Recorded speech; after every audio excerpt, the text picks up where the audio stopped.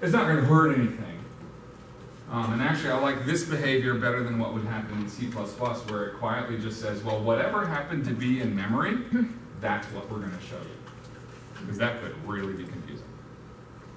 Um, so this is, uh, um, it works, I'll fix it. But yeah, it did say this, and now we can refer to each element by its own index. Does that make sense? And typically what you'll do in this case is you will. Now the most common thing you'll do with a list of things, well, is you'll step through it. Right? The most common thing to do with a list is iterate. And so both of these buttons, all they do is iterate through lists. And it's interesting that the way that I did it was different in the two buttons, and the way that I happened to do this one didn't even notice there was a missing element, because I did it in two different. Had I done the topics list using the algorithm on this button, it would have I would have noticed right away. Let me show you the difference. You want to see it? It's not All right, so this show books, we're going to clear out the inner HTML of the output area. What do we have going on here? You've seen that statement before. We have a for loop. And this for loop uses as its entry i. How does it start? Zero. How does it stay in loop?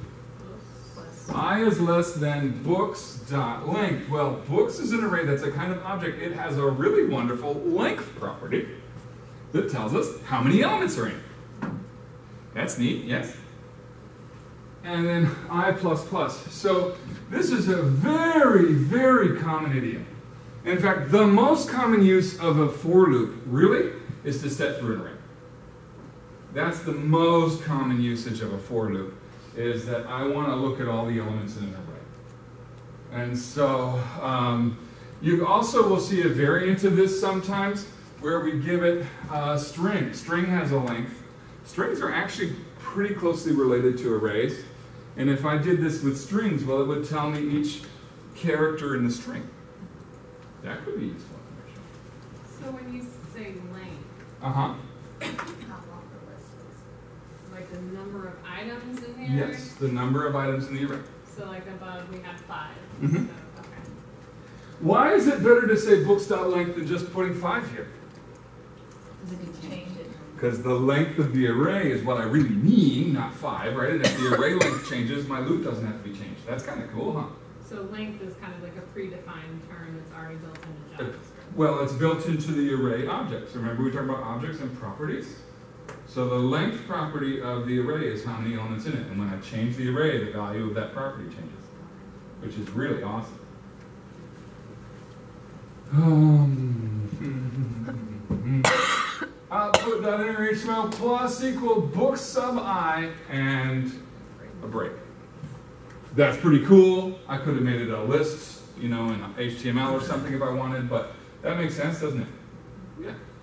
So uh, sometimes I'll want to do stuff with the book. So I'll want to do some kind of, um, uh, you know, analysis of each of them. You know, print it out in boldface or something, or look it up on Google or something. Uh, so um, you, when you have a list of things or an array of things, the most common thing to do is put it in a loop, step through each of the elements. Does that make sense? Cool. Here's another way of doing that. Um, you can shorten a little bit for topic ID and topics, and what that does is the topic ID uh, goes through all of the values, all of the indices, and gives me all of the indices. What's interesting about this example, I wish I could tell you the truth that I did it on purpose, is that since 3 is not a topic ID, it never tried to show me element number 3. It just skipped it. So I never saw it. Um, does, does that make a certain amount of sense? It's just a shorthand. I don't use this one that often in JavaScript because this one just kind of flows for me, but whatever works for you. Uh, as you come back and we do it in Python, we tend to do it closer to this in Python. Um, and there's some neat things that are happening there. But for now, you have now two ways to step through an array. Does that make sense? Okay, now I want to tell you JavaScript arrays can be more powerful. We can also use other stuff besides numbers as indices, but we don't need that today. So um, if you do need it for your project, I'll help you. Coolness? Coolness. Okay. Now, let's take all this back to one more idea.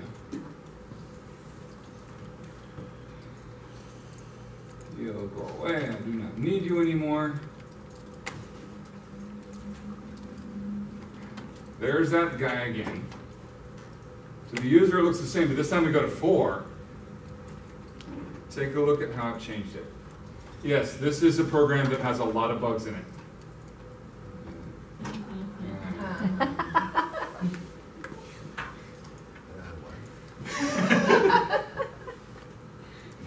All right. Take a look at the um, take a look at that make song function, or maybe first just look at, at line twelve, distraction list. You just put them in order as an array. Ooh, my distraction list is an array. Remember yesterday I said if you understand the data, you understand the program. I think, okay, I spent way too much time thinking about this stupid song. But ultimately, the essence of the song is line 12. Would you agree? That's the essence of it. If I can think of line 12, if I truly understand how this relates to the song, this program writes itself. Why did I skip one? Because having the ants go marching zero by zero would cause an existential crisis. and it would confuse us all, so we're not going to do that. So here, I'll just make zero empty, so it goes one, two, three, four, five, it rhymes. We good?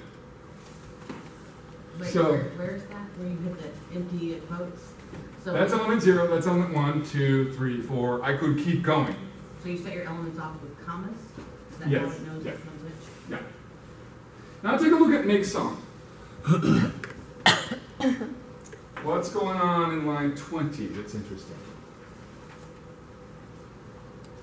This four. There's a for loop. Mhm. Exactly, step through. And that steps through the array, like most, most for loops will do.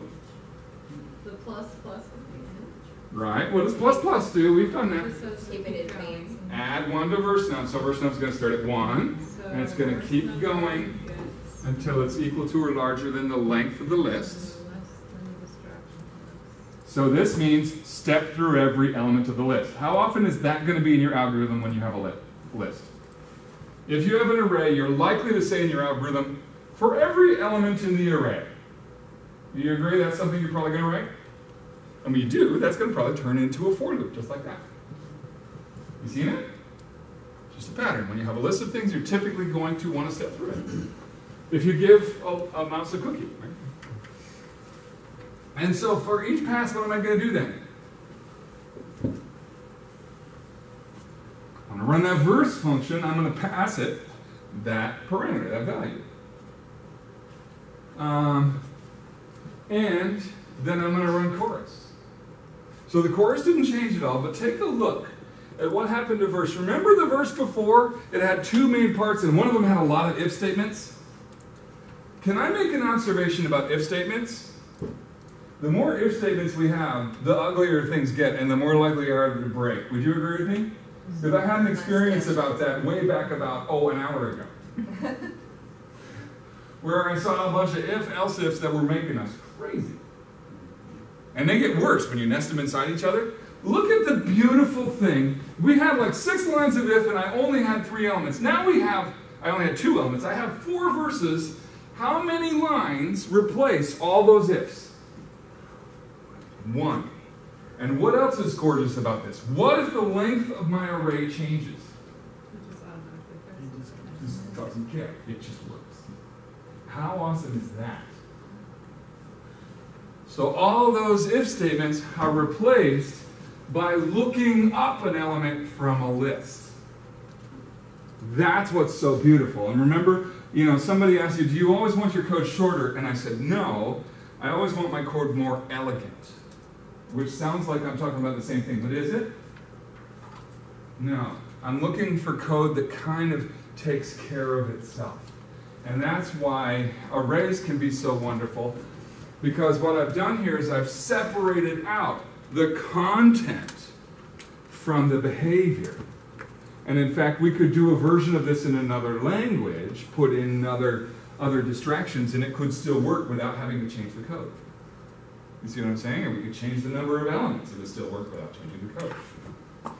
Um, so this is a really, really powerful set of ideas. You okay? Okay. All right. Um, let's take a little break. I have another assignment I was going to give you, or we could start planning your project. Which would you prefer? Start planning your project? Okay. Do you need a break, or do you want me to just let you get started and take a break as you need? Lunch will be here short, in, Okay. in about a half hour. All right, so- how about this? So, what I'd like you to be able to do between now and lunch is put together a, pre- a proposal for your project. It can be in Word, it can be on paper, Google Docs, just not code. So come up with some idea, I'll come around and talk to each of you, but I want you to formally write down what you're wanting to do, knowing that we'll probably change it. You okay with that? It doesn't have to be right. This is the project we The talked about, project- the final project. All of you coming away from here with something that you couldn't do two days ago. So every- everything that. That doesn't have to be so far. much.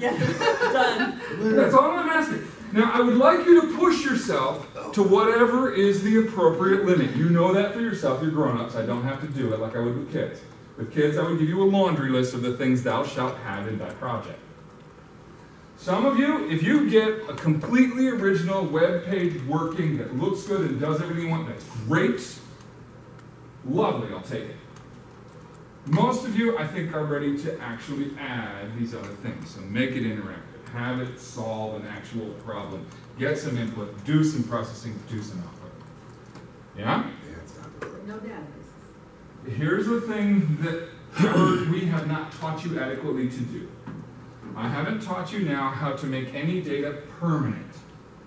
So, what happens when you run the web page in the browser? That's the length of your session. So, it can't necessarily store things and come back to it, so that means probably no databases. You okay with that? Why not? It's not my rule. JavaScript doesn't allow it, and that's a really good thing. That's why we're going to have a second three day session in a couple weeks. That's the main thing we'll do. You okay with that? So I'm not saying no databases because you're not smart enough for them. It's just I haven't taught you that yet, and it won't work well. Um, so I think um, a lot of things that you might be thinking aren't databases probably are. I hear people talking about a scheduler. Yeah, that's really hard. Uh, uh, the things that's going to be easiest are things that do like calculations of some sort. Um, a couple of you were talking about doing a little calculator. That'd be cool. Um, you know, I put in two numbers. I hit an add, subtract, multiply, divide button that shows you the results of those. Um, your business folks, so maybe doing something about you know a mortgage calculator, interest stuff. Maybe some of the things that your students struggle with. That'd be a fun app to do. Um, really uh, any anything that takes some input, does a little processing, produces some output would be a great application for this. Sound like enough you can get started? And I'll come around and help you individually. Like All right. a, like a tip calculator. A tip calculator would be You would have wonderful. found my paper. Is that what you were thinking? So, Good. I'm not sure how much detail you were wanting, but this, this was kind of what I was explaining to you earlier. You might as well stay for lunch. Way over my head. Well, it's been processed. Still don't quite understand what you're talking about. Okay, so like, um, She's gone. Oh, she's I know like this. Had a good day. Hang on, I think She came out all evening. I, she came the first day, so. That's it. Right, she's sending it. No, I know her. I- She's from Springfield originally. She teaches up in Chicago. Oh. I know her mom. Um, So like I here, see her they for would years. I think that figured out like there's And um, then she gave west, up, west. Oh, really? It it was- was, She was like from Maine south So the one I was. something. yep, that's exactly right, yeah. My first one was the. Yeah, so, I have a thing, yeah, I really. And you know what? So she was sitting next to, um, Carla Snowden. And she said she really wanted, Okay, yeah, okay, I love that. I love the general structure. I think that's great. You should be able to do multiple. That's the. One thing they're doing, I think you shouldn't worry about, is that they had it set so that as you type things in, it tells you if it's right or wrong. Um, let's not worry about that. Let's type it in and hit it days? Yeah, check it. And then it could check as many as you want. Let's start with one. Put it- You marked there. Because- So really, it's just a guess what I want. She didn't give you a sheet for each day. She just So I'm just checking to see if the word is equal. So, should so that's what I did. And I sent Now, now, to put, her. put placeholders in place. Maybe put, this will be a picture of it. Guess so. So. So yeah, put some, that's brilliant. It's almost too easy. But I sent that it's information to them, finds a way of but making it so. Tammy Khan, um, was supposed to be here. Um, instead of someone uh, Hey, I'm up. also And I than just okay with to them. I you wanna work as a pair. I think that's actually And the other person from that More than never two, showed up yeah, but I think if you wanna work together on a project, that'd be great. But whatever It doesn't have to be the person to, so if two of you wanna do you sent me the list you for each Springfield or? I, I, um, sent you the Edwardsville one too, and took to Kathy's name. Okay. Sorry. And I think Oh, I added, putting I wanted to here, add you at least that one kinds girl's of name. Last time I Or, was it, how about this? We just have a button down I here. was brain dead. I don't Click the button I and it just about produces all forty-eight of for them. Springfield. Well, yeah, that's what I meant. Yeah, I think uh, Yeah, it's. that's perfect. That's perfect. All right. Yeah, that's a great project.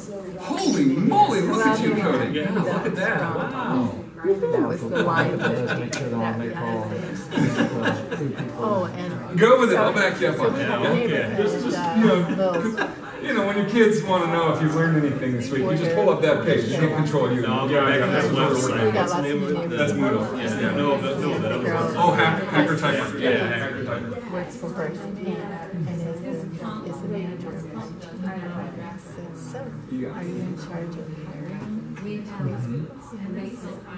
would you like to come to?